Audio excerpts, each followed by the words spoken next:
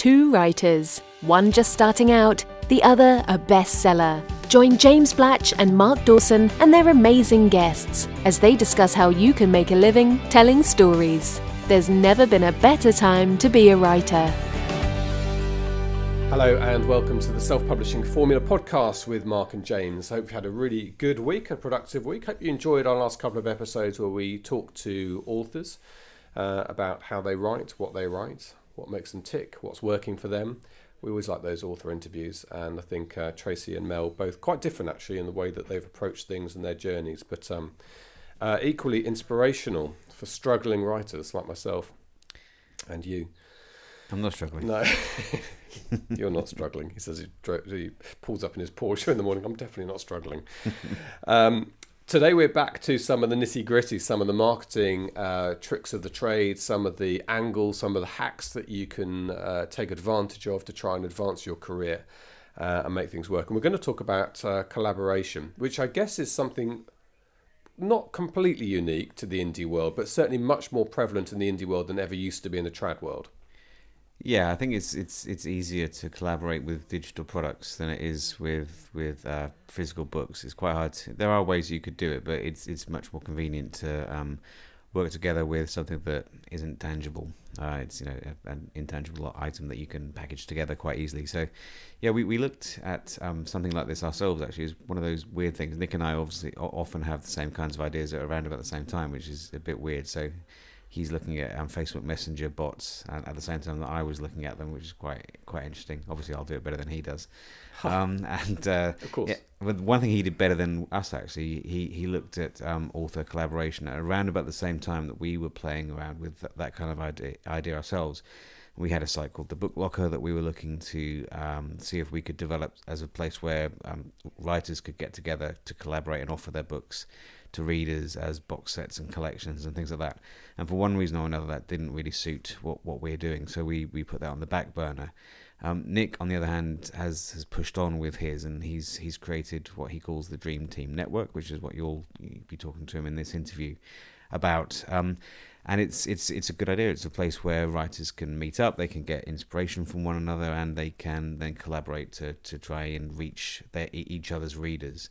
So it, it's a pretty good way of doing things. It's the same thing that InstaFreebie are doing, um, and of course we we have a kind of a residual. Um, effect of that thing that we started to do in that we've got a number of SPF genre groups on Facebook. So if you're in the SPF community, um, this is all free, of course. You you can um, join up in the thrillers group or the romance group or the um, uh, the all the you know. There's about twenty or twenty five different groups, that you can join up with and um, meet um, other writers where you can work together and the same kind of thing that, that Nick will be talking about. But yep. we can mention that when we um, come back at the other, other end of the interview. Yeah, and we should say that um, Nick's is a paid service and he uh, does he goes above and beyond what we do. And we obviously we have lots of authors in our community. It's a natural thing for us to have a place where people can meet each other of similar genres and then get on with their own collaborations. Nick's taken this whole idea a step further and uh, but he is offering a free trial uh, to listeners of the SPF podcast. So details of that at the end of the interview, um, and that's an opportunity for you to join up and test the waters, see if it's going to work for you.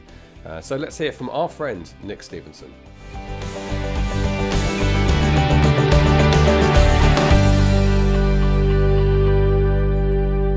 Well, Nick, you were one of the very early guests on the SPF podcast when we when we had no idea what we're doing, and here we are a year and a half later with still absolutely no clue. I'm not really sure at what I was point. Gonna, I was going to say, you, have you figured it out yet? But I guess no. yeah.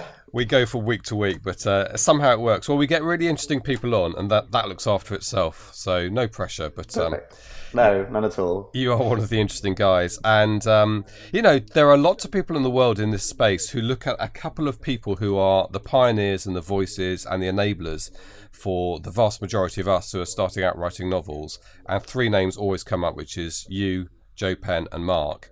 Um, sometimes called the UK Brains Trust, but it's not. I a, like that. Yeah, it's not a UK specific thing. It's you know, it, it, there are three voices that are very significant in the world of self publishing. How do you feel about that, Nick Stephenson?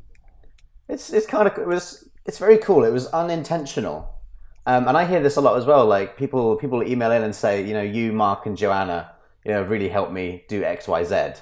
Um, and that's really cool because it wasn't really deliberate. I mean, we all kind of got to know each other um, a few years ago with the idea that you know there's probably some way we could we could work together to do stuff. Um, and the fact that people have picked up on that is really cool. And you know, I guess it's because we all we're all from England, kind of helps. All, although that's almost coincidental, I think, isn't it? I think you are three significant voices in your own right, and they all slightly come at it from maybe very slightly different ways, um, but coincidentally live within the sort of triangle of a few hundred miles. Um, yeah, it helps. So we can meet up in London from time to time, which is always useful. Yeah.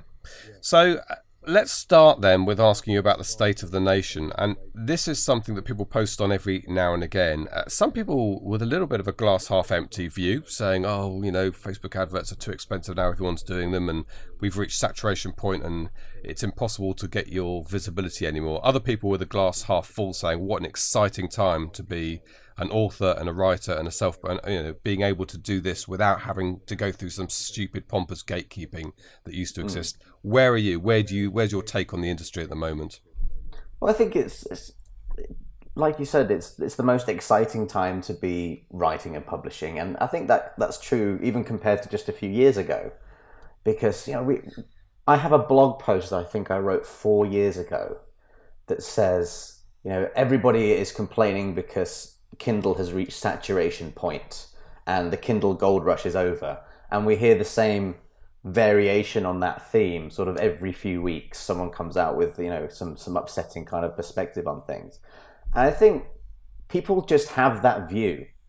You know what I mean? Like you said, the glass half empty, glass half full. I'm, I'm very much a, you know, the glass is both half full and half empty at the same time. So let's try and figure out the best way to go forward.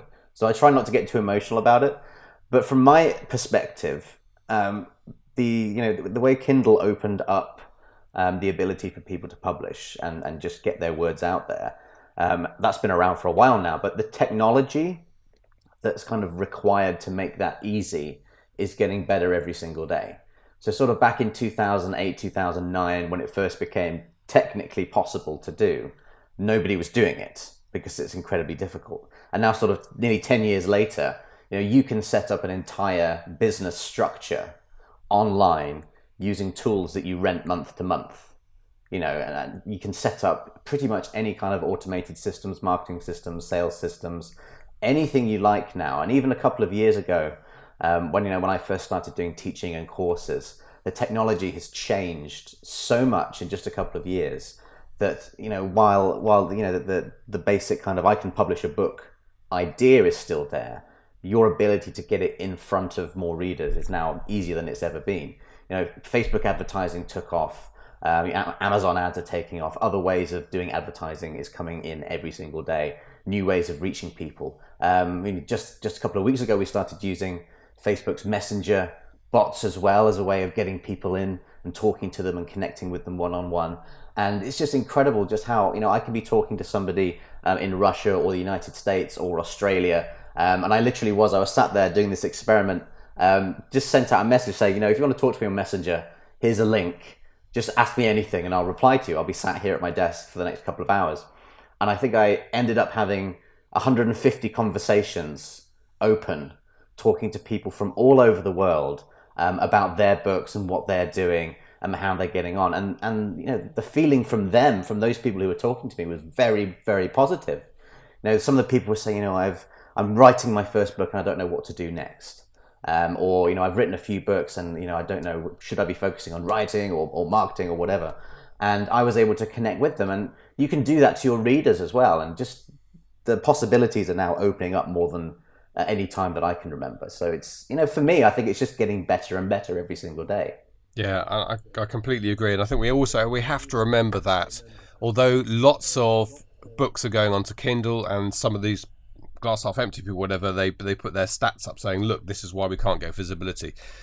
But we talk to each other who people who are aware of marketing uh, they followed you possibly your courses they followed us possibly our courses as well. They're thinking about how to communicate with people. That's probably 1% of the people who put books on kindle are thinking like that and doing that. I mean it's i meet people all the time who say I've got a novel and they don't even they literally don't even know how to upload the book to Kindle. If they've done that, they don't know how to do anything else. So it's a don't be fooled by the growth of the amount of books available on Kindle. There's a small fraction of people who are working hard at marketing and finding readers. I think.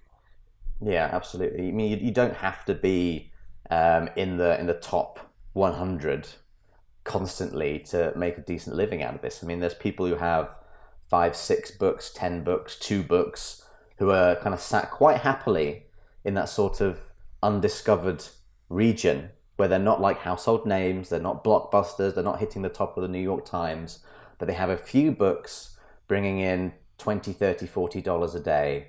Um, and that's enough to, to make a full-time living for a lot of people, or it's enough to supplement a full-time income and get people doing what it is they love. And that's the goal. The goal isn't, for me anyway, superstardom or getting movies made out of your books or becoming a millionaire, you know. And the people I talk to, their goal is to have this thing they've written read by people.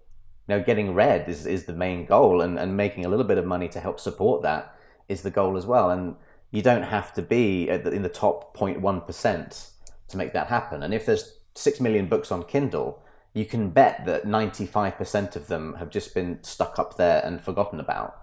And it's that kind of 5% that we can gain access to using these tools that I've talked about today um, already, uh, you know, to get that to get that exposure and really get some good results out of it. You know, so it's just aiming for that spot and really just working at it. Yeah, and uh, absolutely possible. Uh, some people would say you are a superstar anyway, and you've you've begun crashing sports cars, I believe, which I think yeah. is, is a superstar move, right? I think so. Yeah, I had to. it's very. It's a bit of a diva move. Yeah, I kind of. It was the most boring crash in the universe, like ever. It was so slow. It was um, literally just a very wet road and a corner that I accelerated out of slightly too much, and the car went sideways at like 20 miles an hour right. into some soft grass. Okay, so it's not exactly. But, yeah, I like to pretend it was more dramatic than that, but unfortunately, it wasn't. Well, for the YouTube uh, viewers, we'll stick a picture up on um, and show the. It looks more dramatic the picture than the way you describe it. It does. It's the angle. It's my photography skills shining through. I think old Rowan Atkinson, who I'm often unf- unfairly compared with. Mr. Bean lives up your way, and he does occasionally have spectacular crashes in his um. Yeah, he does. He does not. He lives fairly close actually. His his kids went to my old school actually. Um, I never had the chance to meet him, um, but he is in the news from time to time because he's like crashed a McLaren or something. Yeah. Like into a tree. Yeah. it's like, well, that's much more rock star than me. It was quite a serious one as well, but he walked away. Okay. Okay. Look, now we're talking about um, there's this group of people. Maybe it's not one percent, five percent, whatever. The total number of people who listen to you, listen to Mark, uh, Joe, and are part of this this bubble of people who are, who are being active about marketing and being proactive about and thinking what's going to work and, and, and being agile and all the rest of it. And actually, one of the things I like about you, Nick, is you think a lot about how we can help each other, how we can collaborate with each other, which sometimes is completely free of charge, right? Because we've both done our, our own work with our own lists, and um, it's it's a bit of a, a bit of an easy, low hanging fruit type move that a lot of people don't make or don't think to make because perhaps don't know how to start. But this is something mm. I hmm. know you're you're thinking about a lot at the moment. Yeah, and kind of comes under the heading of author collaboration. And this was something that I was kind of keen on right from the very beginning. Um, as I was starting to build up an audience, you know, I thought to myself, you know, I've got, let's say I've got 500 people on an email list and I want to do a promotion or I want to do a launch. I want to reach more people. Now, at the time, I was kind of researching um, how can I expand the people who might be seeing this, and you know, something that came up was you know, um, a term that we're familiar with now, which is called affiliate marketing, where you would recruit affiliates and you'd say, right, for every product that you help me sell, you know, by promoting it to your audience, I'll track that and I'll give you commission. And that I knew that wasn't going to work for Kindle books because there's no real way of doing that. You can't really say, you know, if you promote my my book, I'll give you 50% of the purchase price. It's potentially feasible, but it's not something that's worth kind of digging through. Um, but the, the concept was there. Can I get my my my books in front of a bigger audience by offering something in return to those people who have the audience? So instead of giving them commission, maybe I could just give them the same thing in return. So the idea being that you know if you help me promote my launch this month, I'll help you promote your uh, your launch next month, so it's mutually beneficial. So I, I spent some time reaching out to people who were in a similar sort of niche to me, similar sort of audience size, um, as best as I could guess, and kind of built up those relationships over time. And then eventually said, you know, we've got similar books, similar audience, we're both growing an email list. Um, I'd like to do a launch of my new book coming up. Can you help me promote it? Um, if so, I'll do the same thing for you next time you've got a launch or promotion. And that was kind of the, kind of the the very basic premise behind it. Um, and as you can imagine, you know, when two people with 500 readers on their email list get together, that's suddenly a thousand people seeing the book. So if you've got, you know, or you team up with two other people, that's 1,500 people seeing the book. You've just tripled your audience and you've not paid anything. All you need to do is kind of reciprocate down the line. And it kind of started from there. Um, but as you can imagine, you know, trying to find these people and build up that relationship and do that over time, it took quite a long time. So like six months, I had like two people that I could email up and uh, get promotional help with. Um, and that kind of that, that thought stuck with me for a long time because over the years we have grown together and we now have much much larger audiences and we still help each other out but what about someone who is starting where i was you know who has maybe 100 people on their email list or doesn't have anybody on their email list yet but wants to or is really trying to grow that how do they build those relationships find those people and do that collaboration without it taking them six months and that's where this kind of idea came from. This question was, how do we do that? Um, and so I decided to try and set something up that would allow authors to be able to just hit the ground running, just go in there um, and get started. Um, because it, it boils down to two things, I think. You know, familiarity, so knowing somebody, being able to send them an email or a text message and then respond, um, and two, uh, mutual, uh, mutually beneficial. So if you can have those two things, chances are you're going to get a great collaboration relationship going on. So I decided let's let's set up a, a community, a private community that allows those two things, that familiarity and that mutual uh, benefit. Let's put that out there so that you can start off knowing that that's the case. Um, so I built something called the Dream Team Network, which is um, a private Facebook group, essentially at the beginning. Um, and all it was was I said um, I invited some of my customers in, so paying customers in. I said the goal of this group is solely to do joint promotions, group promotions. You all know each other because you're all doing, you know, one of my courses. You're all growing an email list. You're all in the same place. You all want the same thing. Um, I want you to work together, and I'll help you find each other so that you can do some group promotions. And people were like, "This is this is fantastic." But how do I do a group promotion? You know, how do I? What should I be doing if I meet someone? I was like, okay, good point. So I, I put some training together. I said, right, there's four types of group promotion. So there's like a cross promotion where, you know, one person will email out one month, then the next person will do the same thing the month after. Uh, there's a joint promotion where a big group of people can join together and everybody's kind of blasting it out everywhere. Um, there's uh, anthologies, like you're doing a box set and everyone's promoting the box set, trying to get it into the charts. Um, and then there's contests and sweepstakes as well, where you can be offering prizes and getting people onto different lists and offering you know free books to get them on there. Um, so like these are the four main ones, and I gave them some some training on how to do it, and then people started implementing it and saying, right, okay, um, I'm a sci-fi author. Um, I write this kind of sci-fi. I want to do a cross promotion in August. Um, you know, leave me a message if you want to team up. And you know, this person might get 10, 15 messages from people wanting to join in. Um, the promotion would run, and each person would would get some more readers on their email list, get some more sales. Um, and it all came from you know giving them that foot in the door to meet people writing in their genre at the same sort of level as them, so that they can use these group promotion strategies to just get more readers. You know, and it doesn't cost anything. It's great. There's no you don't have to pay six hundred bucks for a BookBub ad. You just have to follow the training I've set out and just join up with other people, and, and you're done. And it was something I started uh, experimenting with last year, and then kind of put it into a more um, kind of streamlined package to help people really get there as quickly as possible. And it's been working amazingly well. So that's kind of like my pet project at the moment, and I'm really enjoying it.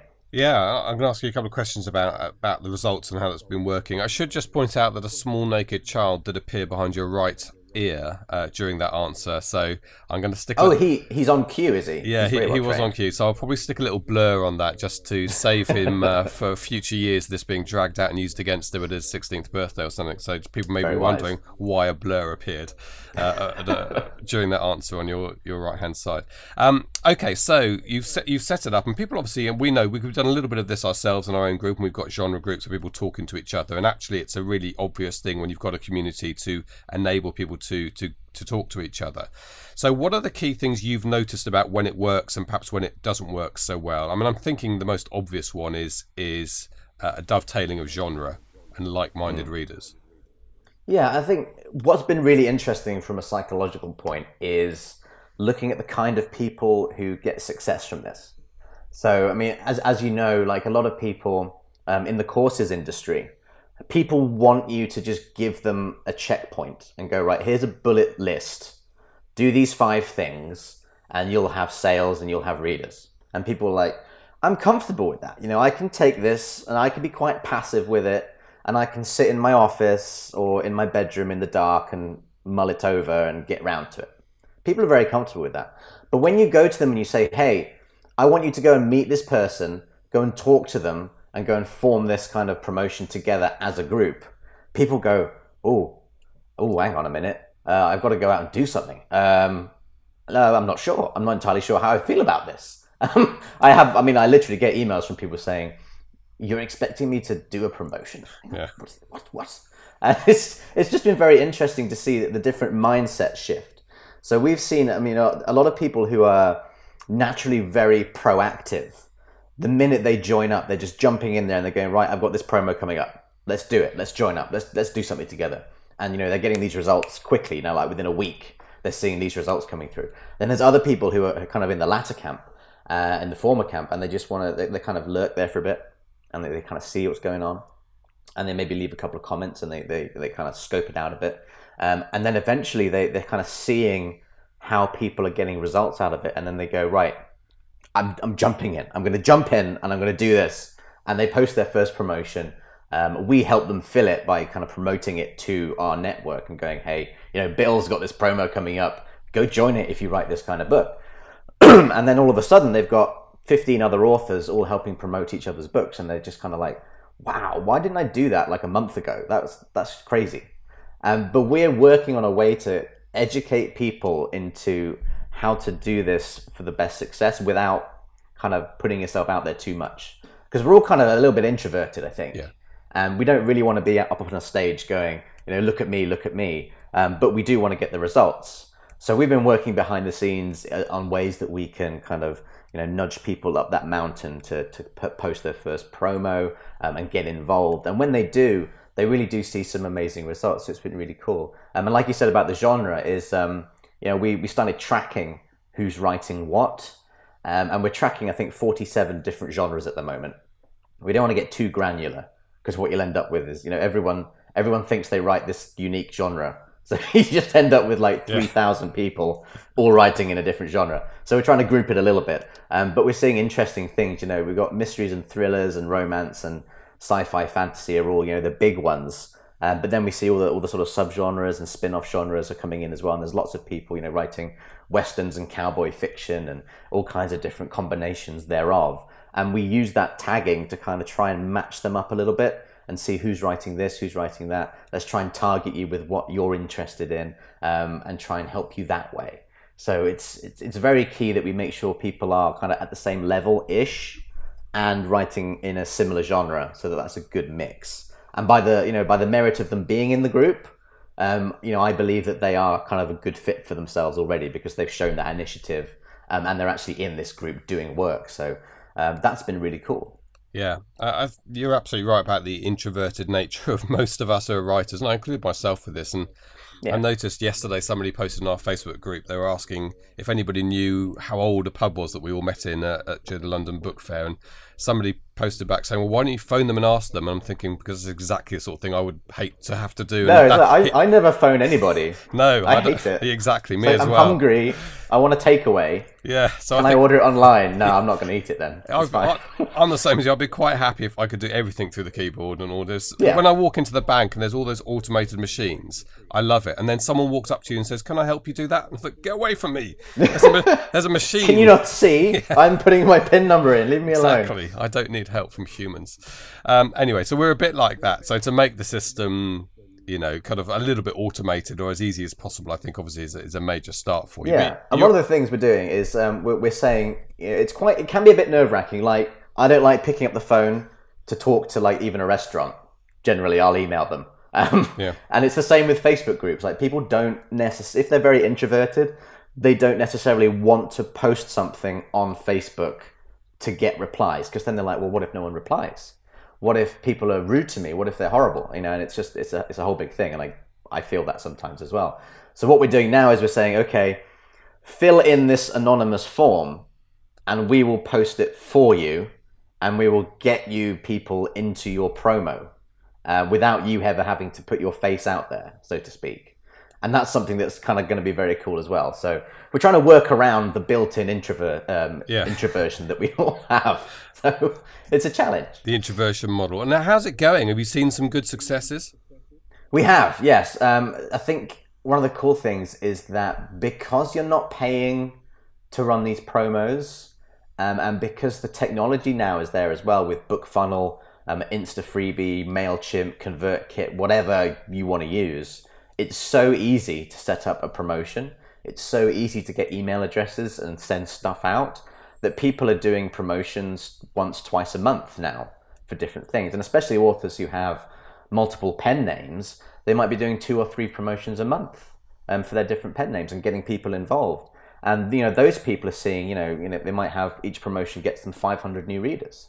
They're doing that three times a month all year, plus everything else they're doing as well. Their mailing list is just going up, up, up, up, up, up, up. And then, of course, that means you can then sell to the email list later on as well. So it really is a no-brainer. Um, and like you said, low-hanging fruit. I think that's a great term. It's just right. It's there for the picking. So that's what we want to just encourage people to to go get it. And are these um, all aimed at giveaways to build your mailing list? Or are you also are people also running these to cross promote books for sale? It's a mix, really. I think the the majority of the promotions are for building email lists because that's that's quite easy. Um, it's quite you know it's it's non it's it's not as scary as doing a sales promotion, and because then you know you have that email list, you can use it later. Um, but some people are kind of saying, "I'm launching a book next month. Um, can I get some people to help me promote it, um, and then we'll we'll return the favor next time." Um, and that's been that's been useful as well, getting those extra eyeballs um, on the launch. Um, and we do have some testimonials put together from people who have been getting some cool results as well. And it's just the speed that people are seeing results with is incredible. And once they once they understand what to do, like how do I how do I run a cross promotion? How do I run a joint promotion? Once they know what to do, it's very very quick for them to get the people on board, get the team put together, and then just go go go go go. It's been really impressive watching people because it's it's all their own initiative, and we're giving them the the structure and the community and the framework to make it easy for them. But they're doing the work. They're getting it out there and you know really being proactive, and that's that's what's most satisfying for me is seeing people take that initiative and go and get great results with it. It's been fantastic. Yeah, and from a reader point of view, I think that um, obviously if you've got readers on your list and they like your books, you're not going to produce enough books for them to be reading. You're going to produce if you're if you're Mark Dawson, you might do three or four a year. For the rest of us, um, you do one every two years at my rate. But um, the point is that it's not a bad thing for your readers for you to say in between your launches. This is I love this guy's writing. He's a bit like me. I think you're going to enjoy it. There's no harm in that at all. So, and it should be focused around the reader anyway, shouldn't it? It is. I did an experiment with this a few years back, um, kind of before this idea of networking and systemizing it came about. Really, is I I was working with another author in my genre, um, and we were going to do an experiment. We're like, um, we were thinking, can we influence each other's book sales by kind of getting it, getting our books linked together with Amazon, like the algorithm, will it kind of link them together? So what we did was we we ran a promotion together and in our emails we were promoting each other's books so one of mine and one of his. And i would email out about it and say hey uh, you know my book is on sale but so is this other author. You know you should grab them both because they're both you know like 70% off. And he did the same thing. And we what we found was yes, we, we managed to double our sales because we were both emailing about it, which was kind of the obvious outcome. Um, but also because the same people were picking up the same books both at the same time, they got really heavily linked together. Um, like in Amazon's also bought section um, and the recommendation engine, they were very strongly linked. Um, and what we found was that for, for quite a while afterwards, you know, for several weeks and months afterwards, um, we found that our sales, and we plotted them on the graph, you know, as they would go up and down, the other guys would go up and down as well. And when someone had a promotion and they'd get a get a big peak, the other guy would get a bit of a peak as well. Mm. And they were, it was just really cool to see how you could, you know, ethically manipulate that engine because it's still readers enjoying one thing and enjoying the other. We're just putting more of that through in a shorter period of time. And that's a really cool kind of extra bonus you get from this is that the, the that saying the the rising tide kind of raises all ships is trying to get into that as well because readers will buy two books. They won't buy mine and then think, well, I bought Nick, so I'm not going to buy that other guy's. They'll probably buy both if it's compelling enough. So why not team up? You know, only good things can happen, and we kind of proved this with data and graphs. So yes. it was uh, it was very cool to look at. Yeah, those algorithms, I mean, obviously they're tip top secret inside, but you can start to demystify them, start to unravel them if you do that kind of exactly that kind of experiment. yeah, way. it's just what does the reader want? Yeah. That's what the algorithm is there to do. What does the reader want to buy? Um, and you can use that as the principle for your promotions. Put the reader first. I suppose one step further forward than that would be to go into full collaboration with somebody who you're on a very uh, even keel with, which is perhaps to do a joint box set. Is that something yeah. you'd encourage? That's the same thing as well. I mean, if you can, uh, you could do both actually, and this is why I like box sets. Is they are a distinct and unique title as far as Amazon's concerned and the other guys are concerned. So, kind of the, the best situation is to have your individual books for sale, and then you have a box set or an anthology that's like an extra title that you can use for specific promotions and that can work very well as well. You know, you have to take into account pricing rules and stuff. Um, but let's say you've got a you know five books and someone else has got five books, and you team up with a bunch of other authors, and you all put your first book into this box set.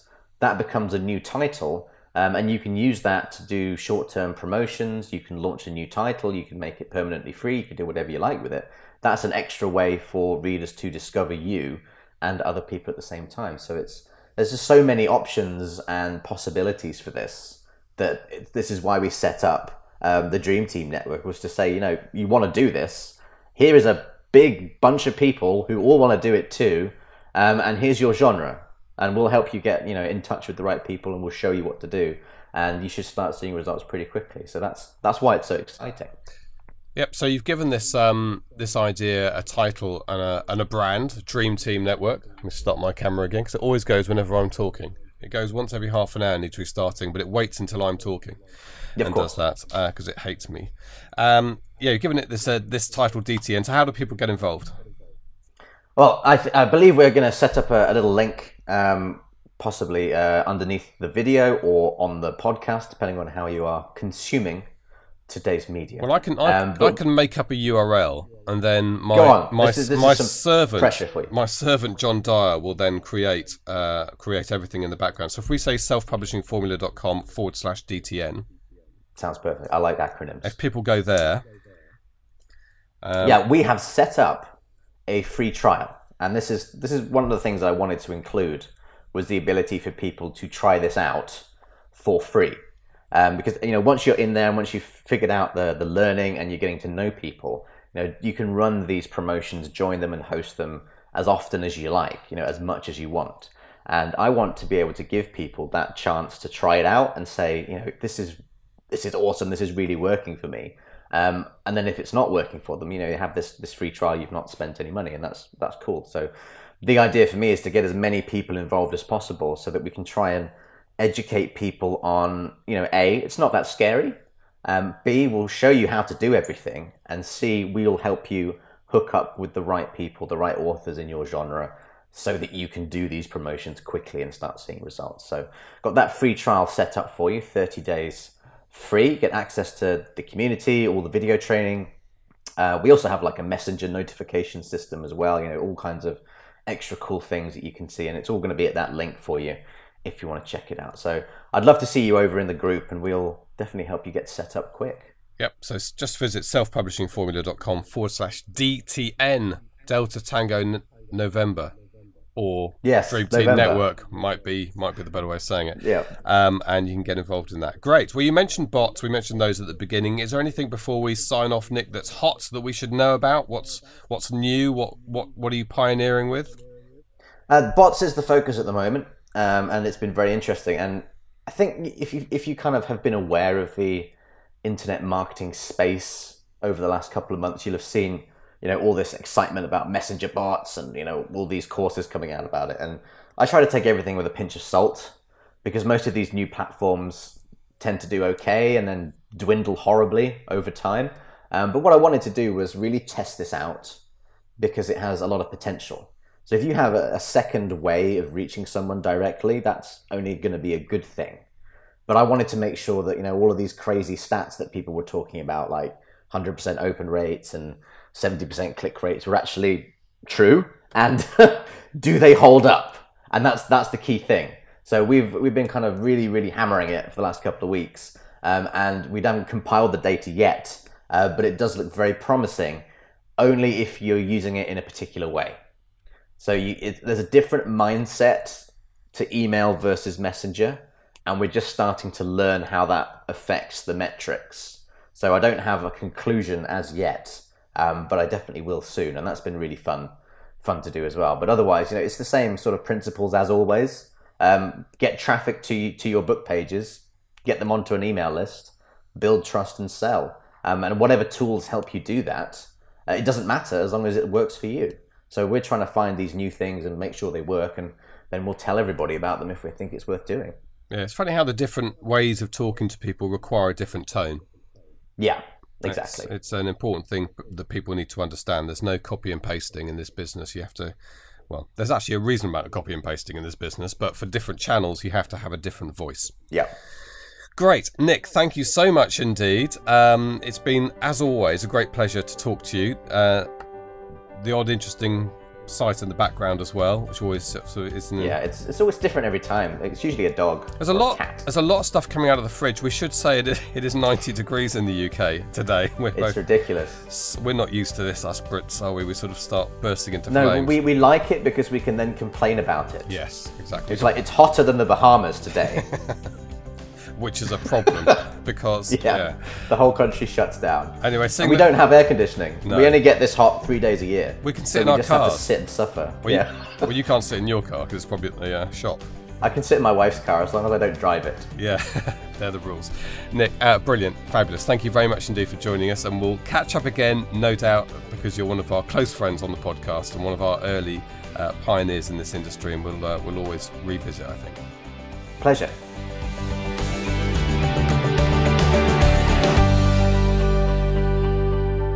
So uh, you haven't crashed your Porsche yet, in the way that Nick has crashed his. Was it a Maserati? I can't remember what his car was. He has a Maserati. Um, and uh, that's, he's got a, it's a rear, rear, rear, I can't speak today, a rear wheel drive. And I think he told me he was coming out of a corner on a wet road. Mm-hmm. Yeah, he and said that put in a little bit, a little bit too much um, right foot and uh, spun the car out. Now, my car, on the other hand, is a four wheel drive um, and almost impossible to, to, to do that with. So I've never had, and of course, it's raining very heavily in Salisbury today. Yeah. I felt very comfortable. Um, if I was driving Nick's car, I'd be very frightened, I should think. Interestingly, though, your car's better than mine, no doubt. But I've got a nice Volvo, and I can switch off a couple of the things in there, and it suddenly becomes quite difficult to handle. So you will be uh, the, your car's uh, computer will be doing a lot of the work for Oh you. Oh no, I know. I took I've, before I bought my car. I had a, a, a track day, Right. and um, involving things like skid pans and things, and um, you can switch all the driver aids off. And with those all switched off, it is terrifying. Yeah, it's a handful. Yeah. Uh, with them on, it's very difficult. It just wants to point straight. Um, yeah. Anyway, it was lovely talking to um talking to Nick. At the time we're recording this, that hot spell that we had is over, and it's pouring absolutely teeming with rain for days on a on- in a row here in the UK, back to normal.